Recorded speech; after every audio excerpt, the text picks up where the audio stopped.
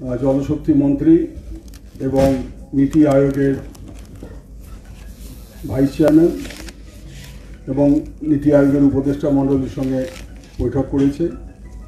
Ghatal master plan সহ একাধিক নদী বাঁধ প্রকল্প এবং বন্যাজনিত সমস্যা এই বিষয়ে সরকারের বিভিন্ন মন্ত্রক এবং এমএলএ এমএলএ এবং এমপি এখানে উপস্থিত আছেন। আমি নামগুলো বলে দিচ্ছি কারা কারা, তারা সবাই গেছিলেন।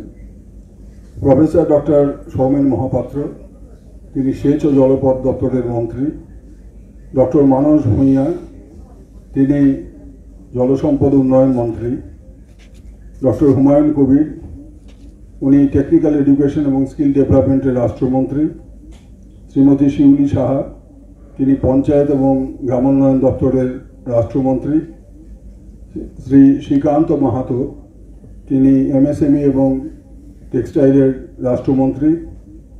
এছাড়া এখানে আছেন আমাদের ঘাটাল লোকসভা কেন্দ্রের সদস্য শ্রী দীপক অধিকারী, আমাদের বিধায়িকা শ্রীমতী জুন মালাইয়া, আর বিধায়ক আছেন শ্রী অজিত মাইতি এবং আমি রাজ্যসভায় দলের মুখ্য সচেতক সুখেন্দ্র শেখর রায়। আজকে কি আলোচনা আমাদের হয়েছে? এবং আমাদের পক্ষ থেকে কি বলা হয়েছে, আমরা কি বিস্তারিত তথ্য দিয়েছি এবং ওরা কি তথ্য আমাদেরকে কীভাবে রেসপন্ড করেছেন সেই বিষয়ে আজকে দু তিনজন বলবেন। ডক্টর মানস ভূঁইয়া, ডক্টর সোমেন মহাপাত্র, দীপক অধিকারী আর ডক্টর হুমায়ুন কবির। তারপরে আপনারা যদি কিছু প্রশ্ন করতে চান, তাদেরকে করবেন। আর আমি হয়তো শেষ অবধি থাকতে পারব না, আমার এয়ারপোর্ট যেতে হবে। তো অনুগ্রহ করে আপনারা এখন ডক্টর মানস ভূঁইয়ার কাছ থেকে প্রথমে শুনুন। নমস্কার। আমরা আজকে ভারত সরকারের জলশক্তি দপ্তরের ভারপ্রাপ্ত মন্ত্রী শ্রী গজেন্দ্র সিং শেখাওয়াত তার সঙ্গে প্রথম সাক্ষাৎ করি আমাদের এই প্রতিনিধিদের একসঙ্গে গিয়ে আমরা প্রথমে যে পয়েন্টটি তার কাছে তুলে ধরেছিলাম সেটি হল দীর্ঘদিনের বহু প্রতীক্ষিত ঘাটাল মাস্টার প্ল্যান কেন রূপায়ণ হচ্ছে না? কেন কেন্দ্রীয় সরকারের কাছ থেকে আমরা অর্থ পাচ্ছি না? কি সমস্যা রয়েছে? তার একটি ডকুমেন্ট আমরা তার হাতে তুলে দিই। আমরা সেখানে খুব প্রকাশ্যে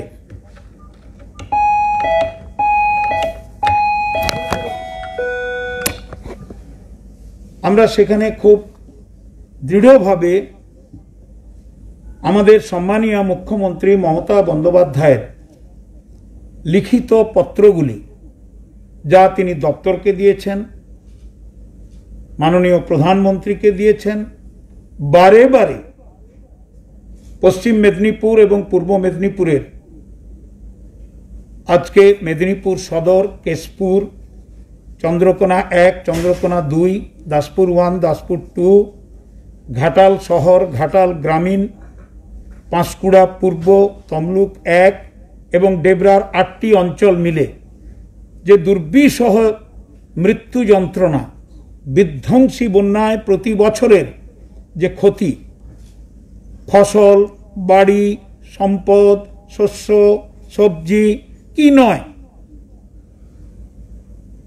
মাননীয় মুখ্যমন্ত্রী বারে বারে জানিয়েছেন এবং ঘাটাল মাস্টার প্ল্যানকে অবিলম্বে অনুমোদনের জন্য দিয়েছেন।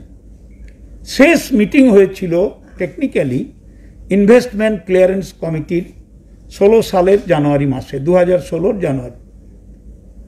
তারপর মুখ্যমন্ত্রী আবার চিঠি দিয়েছেন, দপ্তর থেকে আবার চিঠি এসছে। এবং পরিশেষে কুড়ি সাল থেকে তেইশ সাল এক্সটেন্ড করে পঁচিশ সাল, পাঁচ বছরের একটি পরিকল্পনা রূপায়ণের জন্য জলশক্তি দপ্তর একটি ফর্মুলা তৈরি করেছেন। আজকে মন্ত্রী আমাদের জানালেন, সেই দপ্তরের পক্ষ থেকে একটি গাইডলাইন তৈরি করা হয়েছে, তার মধ্যে ঘাটাল মাস্টার প্ল্যানও পড়ছে। সেখানে ইনভেস্টমেন্ট ক্লিয়ারেন্স এবং ফাইন্যান্স কমিটির কাছে সেটি এখন রয়েছে, ফাইনাল স্টেজে। আমরা ভীষণভাবে অনুরোধ করেছি যে এই রাজ্যের এই জেলা দুটির মানুষ একেবারে মৃত্যুর মিছিলে পড়েছে, ফসলের ক্ষতি হচ্ছে, পচে মরছে মানুষ। আপনারা অনুগ্রহ করে ঘাটাল মাস্টার প্ল্যানের অনুমতি দিন এবং কেন্দ্রের দেয় অর্থ, সেটি আপনারা রাজ্যকে দিয়ে দিন। রাজ্য আমাদের মুখ্যমন্ত্রী অ্যাসিওর করেছেন, রাজ্যের ভাগে যে টাকা পড়বে সেই টাকা আমরা দেব। তবে আমাদের একটা দাবি আছে যে যেহেতু এটা ফ্লাড ম্যানেজমেন্ট প্রোগ্রামের মধ্যে পড়ছে, আমরা বারবারের দাবি করেছি, আজও করছি, পঁচাত্তর কেন্দ্র পঁচিশ রাজ্য দিক। ওরা বলছেন, দেখব, চিন্তা করব। যাই হোক আমাদের কাছে জরুরি এখন ঘাটাল মাস্টার প্ল্যানের অনুমতি, মঞ্জুরি এবং অর্থ প্রাপ্তি। এইটা নিয়ে আমরা বলেছি। আমরা মনে হলো তিনি খুব সিরিয়াসলি নিয়ে কথা বলছেন এবং আলোচনা করেছেন এবং এটা দেখবেন বলে বলেছেন। সেকেন্ড পয়েন্ট ছিল, আপনারা জানেন, বিগত মন্ত্রিসভায় মাননীয় মুখ্যমন্ত্রী মমতা ব্যানার্জির উদ্যোগে আমরাও তার সঙ্গে সহযোগিতা করেছিলাম। কেলেঘাই, কপালেশ্বরী, বাঘাই, চন্ডিয়া নদী সংস্কারের জন্য ছশো পঞ্চাশ কোটি টাকা মঞ্জুরি হয়েছিল। প্রথমে ছিল পঁচাত্তর পঁচিশ রেশিও, পরে করে দেওয়া হলো ফিফটি ফিফটি। অর্থাৎ তিনশো পঁচিশ কোটি দেবে রাজ্য, তিনশো পঁচিশ কোটি দেবে কেন্দ্র। এখন অবধি, আজকে একত্রিশে আগস্ট দু হাজার একুশ, কেন্দ্রীয় সরকার দিয়েছে একশো আঠাত্তর কোটি টাকা। আমাদের রাজ্য কিন্তু প্রায় পাঁচশো কোটি টাকা খরচা করে ফেলেছে মাননীয় মুখ্যমন্ত্রীর নেতৃত্বে এবং আমাদের সেচ মন্ত্রী আছেন সোমেনবাবু তাদের নেতৃত্বে। তাহলে বাকি একশো আটচল্লিশ কোটি টাকা কেন্দ্র এখনও দেয়নি।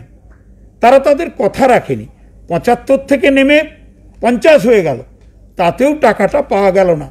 তারা বলেছেন, অবিলম্বে আমরা খতিয়ে দেখছি এটা। কেন গেল না? তারা দেবেন বলেছেন এই বিষয়টা। এই দুটি ইস্যু আমরা তুলেছিলাম, আমি প্রথমে ইনিশিয়েট করে, তারপরে আমাদের মাননীয় সেচ মন্ত্রী সোমেনবাবু, তিনি খুবই গুরুত্বপূর্ণ কয়েকটি ইস্যু তুলেছিলেন, তিনি এরপর আপনাদের কাছে সেটি ব্যক্ত করছেন।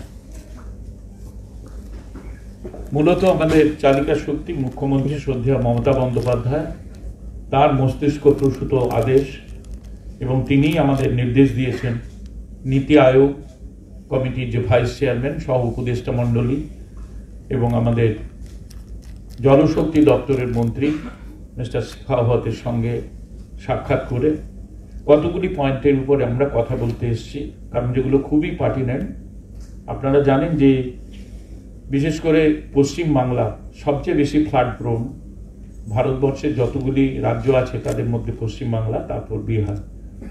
কারণ ডিবিসি নিয়ে আপনারা এর আগেও দেখেছেন এবারের বন্যায় অতিরিক্ত বৃষ্টিপাতের ফলে ডিবিসির জল ধারণ ক্ষমতা কমেছে বলেই এবং ডিবিসির সঙ্গে সংযুক্ত আছে পাঞ্চেত ডিবিসির সঙ্গে সংযুক্ত আছে তেনুঘাট।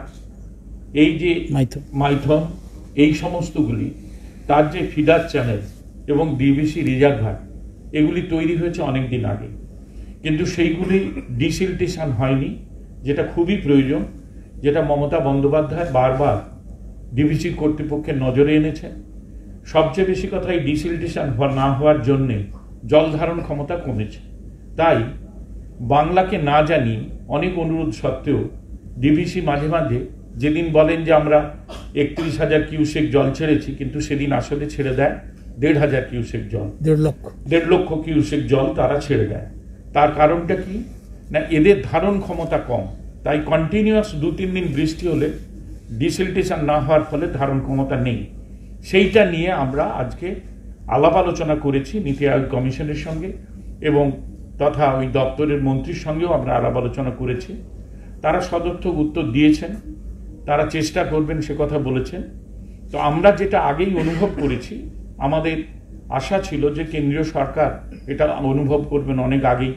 কারণ এটা রাজ্য সরকারের সম্পত্তি নয়, এটা ঝাড়খণ্ড সরকারের অধীনে আছে। কিন্তু সমস্ত জলটা বাংলাকে ধরতে হয় বলে এবারে উদয়নারায়ণপুর আমতা টু ভি- হুগলি বর্ধমান পূর্ব বর্ধমান খানাকুল। এবং ওই খানাকুল থেকে শুরু করে সমস্ত জায়গা ভীষণভাবে বন্যায় প্লাবিত হয়েছে এবং এটা প্রায় অল্টারনেটিভ ইয়ারেই হয়। সেটা নিয়ে আমরা আলাপ আলোচনা করেছি ডিসেলটেশনের জন্য সেখানে বলেছি। তার সঙ্গে সঙ্গে আপনারা জানেন যে সুন্দরবন এবার ইয়াস এর মধ্যে আয়লা হয়ে গেছে দু সালে। আয়লা হয়ে যাওয়ার পরেই আমফান, ইয়াস, বুলবুলের মতো প্রাকৃতিক বিপর্যয় আমাদের মধ্যে আশ্রে পড়েছিল বলেই বাংলার প্রভূত পরিমাণে ক্ষতি হয়েছে। সেখানে কেন্দ্রীয় সরকারকে আমরা বারবার বলেছি। একসময় প্রধানমন্ত্রী নিজে গিয়েও দেখে এসেছিলেন। কিন্তু তা সত্ত্বেও সেই সমস্ত জায়গাগুলি যেগুলি হেরিটেজ বলে খ্যাত ট্যুরিস্ট ট্যুরিস্ট স্পট বলে খ্যাত, দীঘা এই সমস্ত জায়গাগুলো রিকনস্ট্রাকশনের জন্যে আমরা অনুরোধ করেছি এবং এই যে মাস্টার প্ল্যান আমাদের চালিকা শক্তি মুখ্যমন্ত্রী মমতা বন্দ্যোপাধ্যায় নির্দেশ দিয়েছেন, সেই মাস্টার প্ল্যান করে আমরা এখানে পাঠাবো, তার ডিপিআর তৈরি হবে। তার আজকে আমরা চেয়েছিলাম যে আপনারা অন প্রিন্সিপাল আমাদের বলুন যে আমরা এগুলি পাঠালে সেটা আপনারা সদর্থক ভূমিকা পালন করবেন করবেন কিনা। তো কিছুটা আমরা তারা ইচ্ছা প্রকাশ করেছেন। আমরা গিয়ে সেই সমস্ত ডিপিআরগুলো পাঠাবো। নানাভাবে যে আরও অনেকগুলি বুলেট পয়েন্ট নিয়ে আমরা এখানে আলোচনা করেছি, প্রায় আটটি ছিল। তার মধ্যে নদিয়া, মুর্শিদাবাদ থেকে আরম্ভ করে সমস্ত জায়গা। বিশেষ করে আমরা যেটা উল্লেখ করেছি যে ইরোশান, ভাগীরথী রিভার এবং গঙ্গা, এর ইরোশানটাকে যদি আমরা না ঠেকাতে পারি আর এগুলোকে যদি ড্রেজিং না করতে পারি, তাহলে অদূর ভবিষ্যতে ক্যালকাটা পোর্ট আজকে যেমন প্রায় অস্তিত্বহীনের জায়গায় চলে গেছে, ধীরে ধীরে হলদিয়াটাও চলে যায় তাহলে আমার বাংলা যে জায়গাগুলি গড়ে শিল্প গড়ে উঠেছে, যেটা বন্দর তট বলেই শিল্প গড়ে উঠেছে, সেগুলো আস্তে আস্তে শেষ হয়ে যাবে। তাই সেগুলি আমরা তাদের নজরে এনেছি। তারা বলেছেন যে উপযুক্ত জায়গায় আপনারা এগুলো আবেদন করুন এবং তাদের কাছে সেই কপিগুলি পাঠিয়ে দেওয়ার জন্য। আমরা ইতিমধ্যে চারশো আটান্ন কোটি টাকার একটা প্রজেক্ট, আমরা মুর্শিদাবাদ, দক্ষিণ দিনাজপুর, মালদা এবং উত্তর দিনাজপুরের জন্য আমরা একটা পাঠিয়েছি প্রজেক্ট সেটা তারা ফ্লাড ম্যানেজমেন্ট যেটা আমাদের প্রোগ্রাম আছে, সেই তার মধ্যে তারা নিয়ে আসবেন। বর্ডার এরিয়া প্রোগ্রাম সেখানে নিয়ে আসবেন। মালদা মুর্শিদাবাদের জন্য আমরা আলাদা প্রজেক্ট পাঁচশো একাত্তর কোটি টাকার আমরা সাবমিট করেছি। সেটা তারা দেখবেন। ভাগীরথী নিয়ে তো আপনাদের বললাম। এছাড়াও মানুষরা তো বলেই দিয়েছেন ঘাটাল এবং কেলেঘাই কপালেশ্বরীর ব্যাপারটা। আমাদের সুন্দরবনটা, এটা একটা বৃহত্তম ডেল্টা। এই সুন্দরবন এলাকাটাকে সাজিয়ে তোলার জন্যে দু সালের পরে দু হাজার পনেরোতে আয়লাতে এরা সাড়ে পাঁচ হাজার কোটি টাকার মতো সুন্দরবনে যে তিন হাজার কিলোমিটার বাঁধ নষ্ট হয়েছে, তার জন্য তারা বলেছিলেন, টাকা অনুমোদনও করেছিলেন। কিন্তু এ পর্যন্ত তারা তেরোশো কোটি টাকা দিয়েছেন, বাকি টাকা তারা দেননি। সেটাও তারা একটা সদর্থক ভূমিকা পালন করবেন। এইটুকু আমাদের আশ্বস্ত করেছেন। আমার মনে হয় আমাদের আজকে সুখেন্দু শেখর রায়, তিনি সবটা ব্যবস্থা করেছেন এখানে সংযোগ স্থাপন করেছেন, দিনক্ষণ স্থির করে দিয়েছেন। তার নেতৃত্বে আমরা সবাই এখানে যারা গেছিলাম, কিছুটা হলেও আমরা আশ্বস্ত হতে পেরেছি। তবে না আচালে বিশ্বাস নেই। ফল না পেলে, কারণ বারবার আমরা বঞ্চিত হয়েছি, তাই পশ্চিমবাংলা আর যাতে বঞ্চিত না হয় সে কারণে আমরা মুখ্যমন্ত্রীর নির্দেশে এই যে টিম এসেছিলাম, আমরা অনুরোধ করে এসেছি। থ্যাংক ইউ সুমনদা দু হাজার চোদ্দ থেকে আমরা মানে আমি অন্তত লড়াই করে যাচ্ছি ঘাটাল মাস্টার প্ল্যান নিয়ে। আর এই ঘাটাল মাস্টার প্ল্যানটা উনিশশো বাহান্ন থেকে আমাদের স্বপ্ন মানে ঘাটালবাসীদের স্বপ্ন। তো আজকে আজকে মিটিংটা পর আমরা একটু অপটিমিস্টিক কিন্তু যেটা সুমিন্দা বলল, যতদিন না সত্যি হচ্ছে, যতদিন না ঘাটাল মাস্টার রূপান্তর হচ্ছে, ততদিন বিশ্বাস হচ্ছে না। কিন্তু আজকে মিটিংটা অনেস্টলি স্পিকিং ভেরি ফ্রুটফুল ছিল। মন্ত্রী এবং নীতি আয়োগের যিনি কমিটি কমিটি আমাদেরকে আশ্বাসন দিয়েছেন যে শীঘ্রই পদক্ষেপ নেওয়া হবে এবং ফাইন্যান্স কমিটি থেকে যত তাড়াতাড়ি হয় গ্রিন সিগন্যাল দেওয়া হবে। ভেরি হোপফুল এটুকু বলব কি আমাদের লড়াইটা, আমাদের চেষ্টাটা যতদিন না ঘাটাল মাস্টার আমি ঘাটাল মাস্টার প্ল্যান নিয়ে এই জন্য বলছি অনেকগুলো জিনিস নিয়ে আলোচনা হয়েছে, কিন্তু আমার বিশেষ যেটা ওপর নজর ছিল সেটা হচ্ছে ঘাটাল মাস্টার প্ল্যান সেই আমি বেশি করে ঘাটাল মাস্টার প্ল্যান নিয়ে বলতে চাই যে যতদিন না ঘাটাল মাস্টার প্ল্যান রূপান্তর হচ্ছে, ততদিন আমাদের এই লড়াইটা, আমাদের চেষ্টাটা চলতে থাকবে। থ্যাংক ইউ আমি একটা পয়েন্ট আপনাদের কাছে রেজ করছি। আপনারা জানেন যে প্রাকৃতিক দুর্যোগ যেগুলো হয়, ধরুন আগুন ধরে গেছে ধরুন ঝড় হয়েছে, টর্নেডো হয়েছে, ধরুন বন্যা হয়েছে, প্রাকৃতিক দুর্যোগে মানুষ ক্ষতিগ্রস্ত হলে ডিজাস্টার ম্যানেজমেন্ট ন্যাশনাল লেভেলে কেন্দ্রীয় সরকার তার একটা নীতি নির্ধারিত আছে, তাদের পুনর্বাসন দেওয়ার, সাহায্য করা কিন্তু টিল টাইম কেন্দ্রীয় সরকারের কোনো নীতি নির্ধারণ হয়নি যে নদীর ভাঙনে নদীর পাড়ের ভাঙনে একটার পর গ্রাম চলে যাচ্ছে, গ্রামের পর গ্রাম। স্কুল চলে যাচ্ছে, হাসপাতাল চলে যাচ্ছে, মন্দির মসজিদ চলে যাচ্ছে, গির্জা চলে যাচ্ছে, জনপদ চলে যাচ্ছে, গ্রামের পর গ্রাম চলে যাচ্ছে। হাজার হাজার মানুষ নিরুপায় হয়ে রাস্তার উপর আশ্রয় নিচ্ছেন। আমরা অনুরোধ করেছি এই ডেলিগেশনের পক্ষ থেকে নীতি আয়োগের কাছে এবং মন্ত্রীর কাছে যে কেন্দ্রীয় সরকার এগিয়ে আসুক যে তারা যেন একটা নীতি নির্ধারণ করেন, অন্যান্য প্রাকৃতিক দুর্যোগে যেমন সাহায্য করা হয়, পুনর্বাসন দেওয়া হয় ইরোশনের ক্ষেত্রে, বাঁধ ভাঙনের ক্ষেত্রে, ক্ষয়ের ক্ষেত্রে যারা স্বজন হারায়, গ্রাম হারায়, স্কুল হারায়, যারা জনপদ হারায়, তাদেরও যেন একটা পুনর্বাসনের ব্যবস্থা করা উচিত এবং করা হোক। এটা একটা অত্যন্ত গুরুত্বপূর্ণ প্রশ্ন, কারণ আমাদের পশ্চিমবঙ্গে এই ইরোশনের জন্য হাজার হাজার মানুষ কিন্তু আজকে জনপদ হারাচ্ছেন, বাসস্থান হারাচ্ছেন। কেন্দ্রের এই বিষয়টা অত্যন্ত গুরুত্ব দিয়ে দেখা দরকার।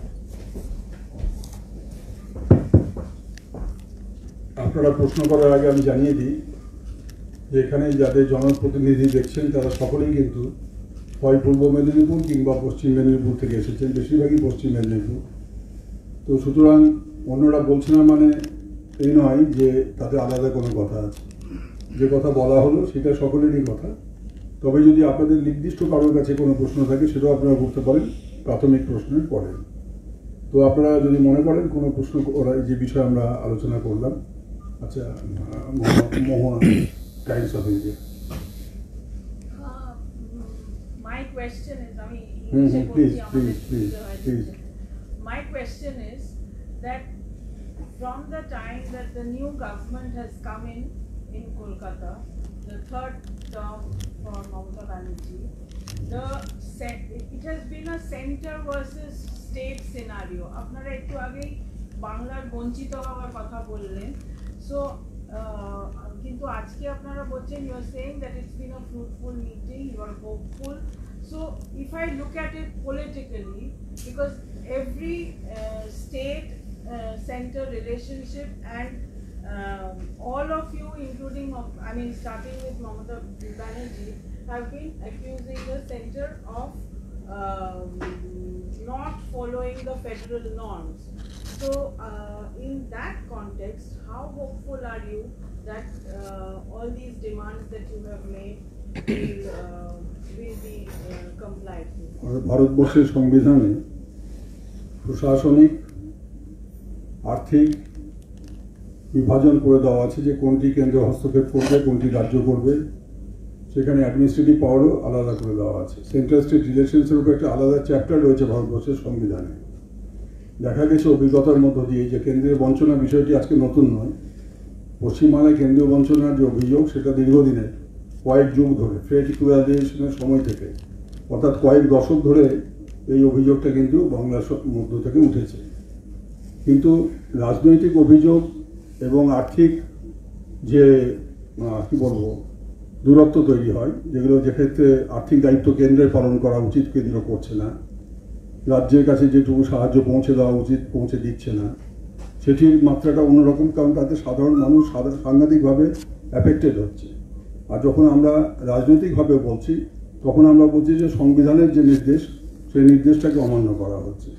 তো এই সবগুলো থাকবে, কিন্তু তার মধ্য থেকেও যে কোঅপারেটিভ ফেডারেলিজমের স্লোগানটা আজকে মাননীয় প্রধানমন্ত্রী তুলেছেন, এটা বহু আগে সরকারিয়া কমিশনের রিপোর্টে কোঅপারেটিভ ফেডারেলিজমের কথা বলা হয়। তো কোঅপারেটিভ ফেডারেলিজম হচ্ছে একটা ফিলোসফি ভারতবর্ষের মতো এত বড় রাষ্ট্র চালাতে গেলে যদি রাজ্যগুলোর সঙ্গে কেন্দ্রের সুসংহত সম্পর্ক না থাকে, তাহলে সেটা জাতীয় স্বার্থের পরিপন্থী হয় ক্রমান্বয়ে তো সেই জন্য রাজ্যগুলোর যেমন হাত বাড়িয়ে দেওয়া দরকার, সহযোগিতার হাত, কেন্দ্রীয় সহযোগিতার হাত বাড়িয়ে দরকার, বিশেষ করে আর্থিক ক্ষেত্রে। এবং সে ব্যাপারেও সংবিধানে সুস্পষ্ট নির্দেশ রয়েছে। যেমন আমি একটা উদাহরণ দিই, যে রাজ্যগুলো, শুধু পশ্চিমবঙ্গ না, ভারতবর্ষের সমস্ত রাজ্য আজকে জিএসটি মেনে নিয়েছে। যে এক দেশ একটা ট্যাক্স এরকম বলা হয়েছিল স্লোগান তোলা হয়েছিল জিএসটি মেনে নেওয়া হয়েছে। আর তার ফলে রাজ্য তাদের অনেক আর্থিক ক্ষমতাকে সমর্পণ করে দিয়েছে কেন্দ্রের হাতে। আমি সারেন্ডার কথাটা ইউজ করছি না, কিন্তু সমর্পণ করে দিয়েছে কেন্দ্রের হাতে। এখন কেন্দ্রের দায়িত্ব হচ্ছে যে রাজ্য যখন তাদের আর্থিক ক্ষমতা এইভাবে সমর্পণ করেছে, তখন কেন্দ্রের দায়িত্বটা আমি বেড়ে যায়। যে তাহলে রাজ্যগুলোকে আমি যাতে ঠিকমতো দেখতে পারি, তাদের আর্থিক যে বিষয়গুলো আছে, তার উপর আমি ঠিকমতো নজর দেব। এখন সেক্ষেত্রে যদি জিএসটি ইমপ্লিমেন্টেশনের ক্ষেত্রে নানা রকম অসুবিধে ভোগ করে ক্রেতারা এবং ব্যবসায়ীরা তাহলে সেক্ষেত্রে রাজ্য সরকারকে তার মুখ খুলতেই হবে। যার জন্য জিএসটি কাউন্সিল আছে। জিএসটি কাউন্সিলের রাজ্যের প্রতিনিধিরা এই ব্যাপারে তাদের বিভিন্ন সময়ে মতামত তুলে ধরে এটাকে কেন্দ্র বিরোধিতা হিসেবে ধরলে কিন্তু ভুল ধরা হবে কেন্দ্র বিরোধিতা নয়, এটা হচ্ছে আমাদের একটা ন্যায্য যেটা কথা, সেই ন্যায্য কথাটা বলবার অধিকারও আমাকে সংবিধান দিয়েছে। সুতরাং সবসময় এটাকে একটা পলিটিক্যাল ইস্যু করা যে আমরা ক্ষমতায় তৃতীয়বার এসেছি আমাদের কেন্দ্রে আমাদের সঙ্গে বিমাতৃসুলভ আচরণ করছে, এটাই একমাত্র সত্য, তা নয় কিন্তু। তাহলে তো আমরা আজকে আসতাম না। আমরা আজকে এসেছি কেন?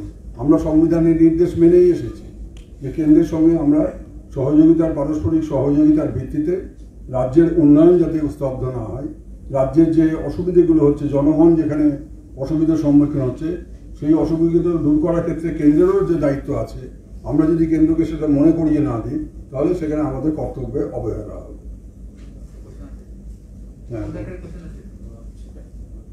বলুন। আচ্ছা। দেবের জন্য দেব দু হাজার ষোলো সালে আপনি লোকসভায় মেডেন স্পিচ দিয়েছিলেন অগাস্ট মাসে। তখন আপনি কেলিগাই কপনেশ্বরী এবং ঘাটাল মাস্টার প্ল্যান নিয়ে বড় করে বলেছিলেন? তখনও আপনাকে আশ্বস্ত করা হয়েছিল এটা দেয়ার লুকিং ইন্টু আজকে আপনি বলছেন অপটিমিস্টিক মিটিং হয়েছে কুইক ফ্রুটফুল অ্যাসুরেন্স আপনি পেয়েছেন।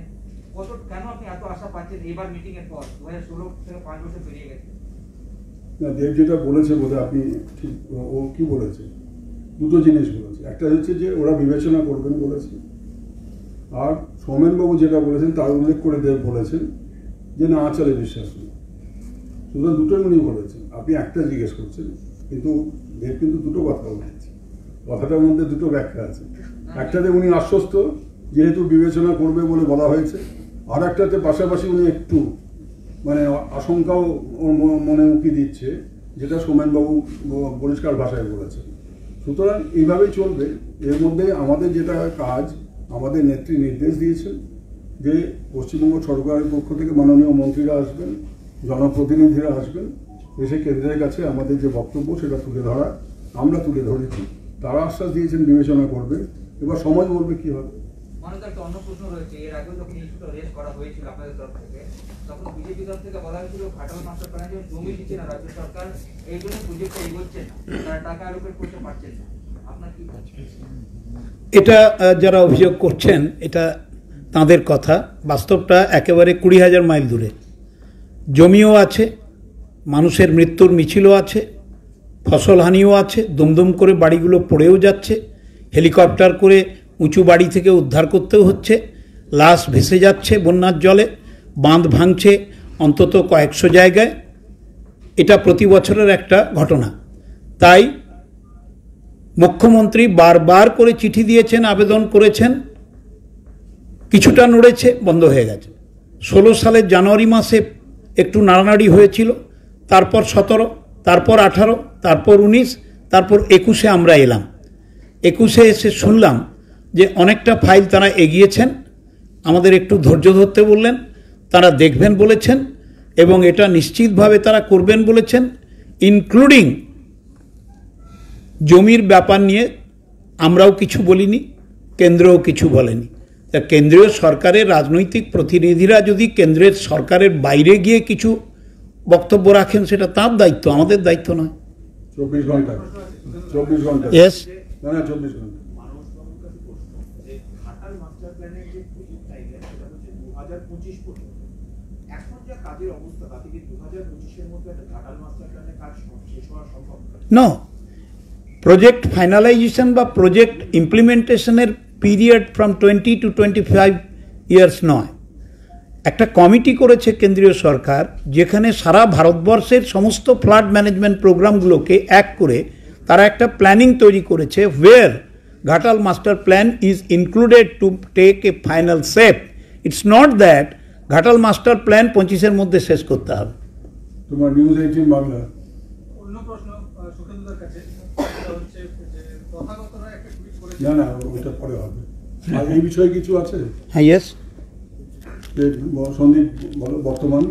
আচ্ছা, আমার যতটুকু মনে আছে যে প্রাক্তন অর্থমন্ত্রী স্বর্গীয় প্রণব মুখোপাধ্যায়ের আগে আহ, প্রথম মৃত্যুবার্ষিকী তিনি অর্থমন্ত্রী থাকাকালীন এই কেলেকাই কপালেশ্বরী বাজেটে সেন্ট্রাল বাজেটে ইনক্লুড হয়েছিল। একশো আটাত্তর কোটি টাকা কেন্দ্র এখন অব্দি দিয়েছে। আমার প্রশ্ন, আপনারা কি কেন্দ্রের কাছে জানতে চেয়েছিলেন যে বাকি টাকা এতদিন দেয়া হয়নি কেন? নিশ্চয়ই। আমাদের মুখ্যমন্ত্রী মমতা বন্দ্যোপাধ্যায়কে সামনে রেখে স্বর্গীয় প্রণববাবু, পবন বনসাল এবং আমি কেলেঘায়ের পাড়ে কাঁটাখালীতে সতেরোই ফেব্রুয়ারি দু হাজার বারো সাল উদ্বোধন করেছিলাম ছশো কোটি টাকার এই প্রকল্প, কেলেঘাই কপালেশ্বরী বাঘাই চন্ডা নদী। সেখানে প্রণববাবু তদানীন্তন কেন্দ্রীয় সরকার পঁচাত্তর পার্সেন্ট কেন্দ্র, পঁচিশ পার্সেন্ট রাজ্য দেবে বলে স্বীকৃতি দিয়েছিলেন। পরবর্তী পর্যায়ে এই সরকার আসার পর এটাকে পঞ্চাশ পঞ্চাশ, রাজ্য পঞ্চাশ, কেন্দ্র পঞ্চাশে করলেন। তাতেও মুখ্যমন্ত্রী রাজি হয়ে চিঠি দিয়ে অ্যাকসেপ্ট করে বললেন, আমরা চালাবো। চালাতে গিয়ে দেখা গেল, গত চার বছর কোনো টাকা কেন্দ্র থেকে যায়নি। মুখ্যমন্ত্রী কিন্তু ইতিমধ্যে তিনশো পঁচিশ কোটি তার দেয় টাকা দিয়ে দিয়েছেন, প্লাস আরও প্রায় দেড়শো কোটি টাকা খরচা করেছেন। কিন্তু কেন্দ্র দিয়েছে একত্রিশে আগস্ট দু হাজার একুশ অবধি একশো আটাত্তর কোটি টাকা। অর্থাৎ একশো আটচল্লিশ কোটি টাকা এখনও পাব। আজকে সেই নিয়ে আলোচনা হয়েছে, সবাই ছিলেন। সেচমন্ত্রী সোমেনবাবু থেকে শুরু করে সুখেন্দু শেখর রায়, আমাদের প্রতিনিধিরা দীপক দেব, দীপক, আমাদের দেব ভাই, আমাদের ডক্টর কবির অজিত বাবু আমাদের শিউলি আমাদের জুন আমাদের আমাদের শ্রীকান্ত। মাহাতো। তারা বললেন যে হ্যাঁ আমরা এটা দেব। এখন দেয়নি কোনো? তারা কিছু সেরকম বললেন না। এটা তো হয় না এটা তো সওয়াল জবাব হয় না। বলছি, রাজীব রাজীব একটা এক সেকেন্ড রাজীব শোনো আমি আমি বলছি। এটা আমরা বলেছি তারা বলেছেন যে আমরা নিশ্চয়ই এটা দেখছি। দাও এটা তো আপনাদের দেওয়া কর্তব্য। দিলি দিন এটা। রাজীব তোমাকে একটা কথা বলি প্রশ্ন করার আগে। কোনো সরকারি পদে আছেন বা দলীয় পদে আছেন বলুন কিন্তু কোনো প্রাক্তন নিয়ে আমাদের কোনো প্রতিক্রিয়া নেই হ্যাঁ আর কোনো प्रश्न करो হ্যাঁ हिंदी में हिंदी में आज বলি দে। बंगाल सरकार की ओर से एक प्रतिनिधि मंडल ঠিক আছে जिनमें मंत्री लोग शामिल हैं सोमेन महापात्र जी डॉक्टर मनोज भुइया जी और दूसरे मंत्री हैं हमारे डॉक्टर अ, न- हुमायूं कबीर हमारे साथ है श्रीमती शिवली शाह श्रीकांत महातो और इनके अलावा खटाल लोकसभा की एमपी है हमारे साथ दीपक अधिकारी जी मिसेज जून महाराजा जी जो कि विधायक है और मैं सुखेंद्र शेखर हम लोग गए थे। अजित माइती। अजित माइती जी वो भी विधायक हैं। हम लोग गए थे जल संपर्क मंत्री शाखावत जी के पास गजेंद्र शाखावत जी। और उनके साथ हमारे बहुत हार्दिक स्थिति में चर्चा हुआ। हमारे जो आठ बूंद बुलेट पॉइंट था, बिंदु था, इस आठ बिंदु पर हमने उनके साथ चर्चा की है। जैसे कि बताया गया कि घाटाल मास्टर प्लान है, उसमें, उसके अलावा दामोदर बढ़ाकर बेसिन में जो प्रॉब्लम हो रहा है, बाढ़ हो रहा है हर समय, वहाँ से पानी छोड़ देते हैं वो लोग। जब तक हम ये कोई प्रोजेक्ट नहीं बनाया जाता है, ये समस्या बहुत गंभीर है। और उत्तर दिनाजपुर, दक्षिण दिनाजपुर, मालदा, ये भी कैसे बाढ़ में क्षतिग्रस्त हो रहा है, गंगा इरोशन हो रहा है, पदमा इरोशन हो रहा है, इससे मालदा, मुर्शिदाबाद, नदिया में भी इसका असर पड़ रहा है। इसके अलावा भागीरथी, हुगली, रिवर इरोशन जो हो रहा है, आठ ज़िले में फरक्का से शुरू होता है। फरक्का मुर्शिदाबाद के अंदर है, आप लोग जानते हैं। मुर्शिदाबाद, नदिया, और उसके बाद उत्तर चौबीस परगना, कलकत्ता, हावड़ा, हुगली, दक्षिण छब्बीस परगना, ये आठ ज़िले पे इसका इतना असर पड़ रहा है कि बहुत दिनों से वहाँ के जनजीवन त्रस्त व्यस्त हो गया। तो इसलिए हम वहाँ के लिए भी प्रोजेक्ट बनाए हैं। सरकार, केंद्रीय सरकार से जो पैसा हम लोग मांगे हैं, उसको रिलीज़ करने के लिए हमने दवा किया। और इसका बाद दीघा, शंकरपुर, जो सी बीच है, वो सी बीच पिछले जो यश साइक्लोन आया था, उसका पहले भी आयला का साइक्लोन आया था। हर साल साइक्लोन हो रहा है।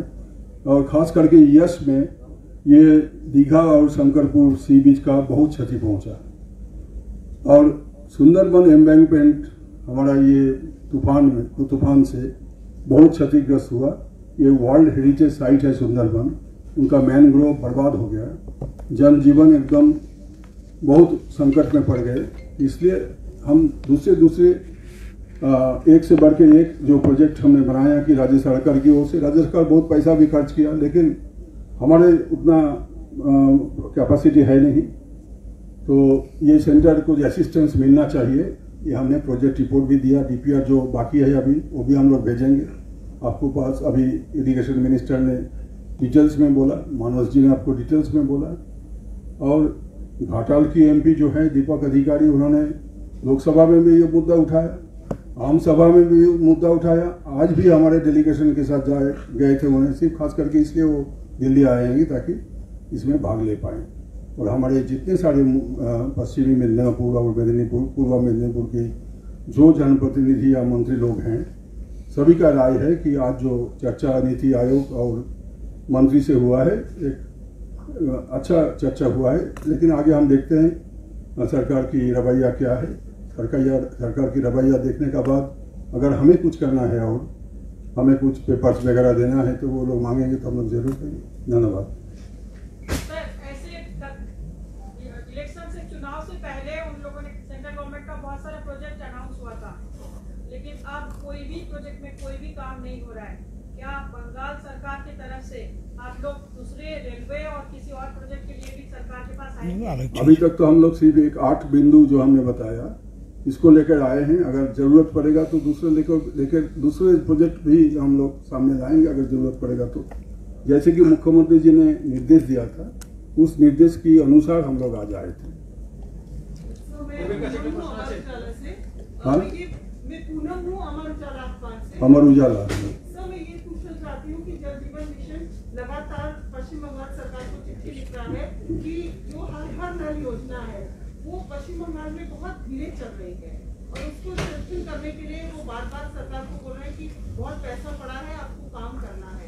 और एक बार आप इस तरीके से बता पश्चिम बंगाल में जल जीवन मिशन चल रहा है वर्षों से।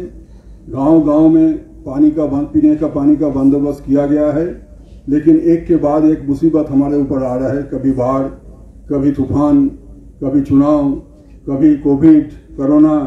तो एक के बाद जो ये जो मुश्किलें अटकलें हमारे सामने पैदा हो रहा है इसके चलते हो सकता है कहीं कहीं कुछ प्रॉब्लम हो सकता है।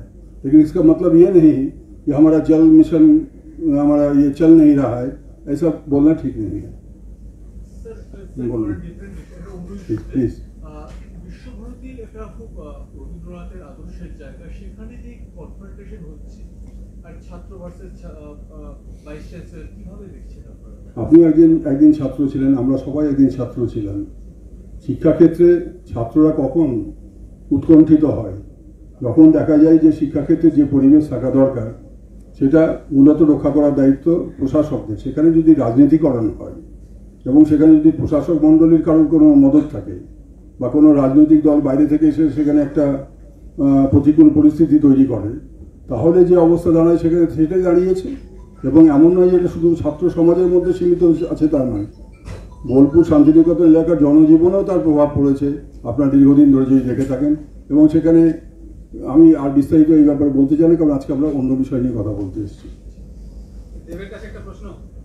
সেটা হচ্ছে, আপনি ঘাটালে এইবারে বন্যা পরিদর্শনে যখন গেছিলেন, তখন বলেছেন যে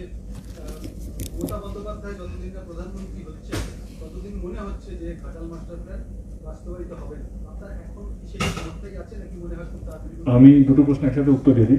উনি একই প্রশ্নই করছেন কাছাকাছি ছিলেন আর কি। আজকে আমার কেন এটা অপটিমিস্টিক মনে হচ্ছে?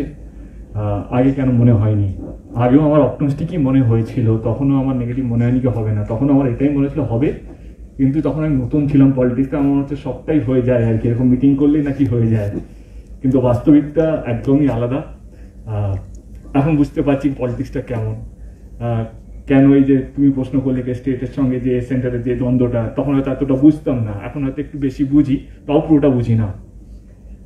আমার কাছে সবচেয়ে বেশি ইম্পর্টেন্ট হচ্ছে ঘাটালের মানুষের কষ্ট। ঘাটাল যখন বলছি শুধু ঘাটাল নয়, ঘাটাল, দাসপুর, কেশপুর, আমার লোকসভার মধ্যে যেই কনস্টিটুয়েন্সিগুলো পড়ে সেটা সবটাই ঘাটাল বন্যার চক্করে বা ঘাটাল মাস্টার প্ল্যান না হওয়ার চক্করে সবচেয়ে বেশি ভুগছে ইনফ্যাক্ট এই বছর যেই বন্যা হয়েছে, গত ত্রিশ বছর এরকম বন্যা হয়নি। মানে এটা আমাদের প্রত্যেকের চোখে দেখা। যারা নর্মালি যারা এটা করে মানে নিউজের মধ্যে থাকে বা ইউনো একটু বন্যা নিয়ে যদি কেউ এটা দেখেছে, তো বুঝতে পারবে।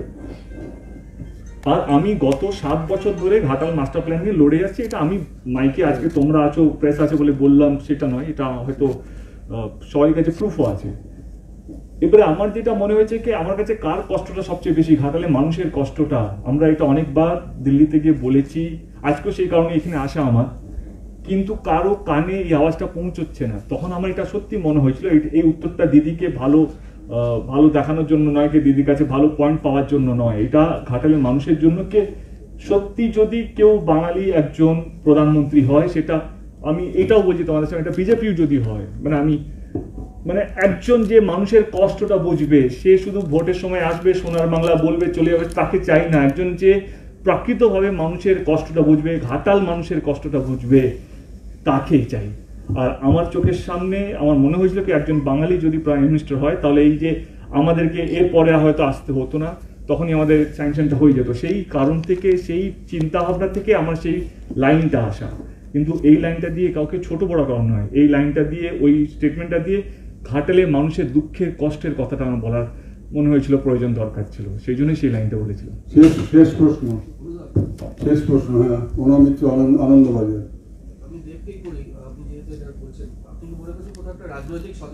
না না আমি উত্তর দিচ্ছি যে এবার বলবে না যে যা বলার বলে দিয়েছি। রাজনৈতিক সদিচ্ছা হচ্ছে নির্ভর করে কাজটা কতদূর এগোলো তার উপরে। সুতরাং এখন আমরা সবেমাত্র আলোচনা করলাম আজকে আর কালকে কাজটা শুরু হয়ে যাবে এটা ভাবার কোনো কারণ নেই। এটা একটা প্রক্রিয়া। আলোচনাটা হচ্ছে একটা কাজের প্রক্রিয়া। প্রাথমিক প্রক্রিয়াটা আমরা শুরু করলাম। এরপর অনেকগুলো প্রক্রিয়া আছে। Government to government contract establishment হবে আরও সরকারি অফিসাররা আমাদের রয়েছে রাজ্যে কেন্দ্রের অফিসাররা রয়েছে নীতি আয়োগের অফিসাররা রয়েছেন উপদেষ্টারা রয়েছে। সুতরাং এতগুলো ডিপার্টমেন্ট বা মিনিস্ট্রি বা নীতি আয়োগ। স্টেট গভর্নমেন্ট বিভিন্ন দপ্তর সবকে সমন্বয় করে কাজটা এগিয়ে নিয়ে যেতে গেলে যে সময়টা দরকার প্রভাস রায়কে সেটা নিয়ে করে। আগামী দিন বলবে যে এগোবে এক্ষুনি প্রভাস রায়, আগাম কিছু বলাটা ঠিক নয়। সুন্দরবন হ্যাঁ সুন্দরবন দীঘা। দীঘা। অ্যান্ড সুন্দরবন। তাহলে আমরা এখানে শেষ করছি। থ্যাংক ইউ ধন্যবাদ সবাইকে। আপনারা অনুগ্রহ করে একটু চা খেয়ে যাবেন। আপনাদের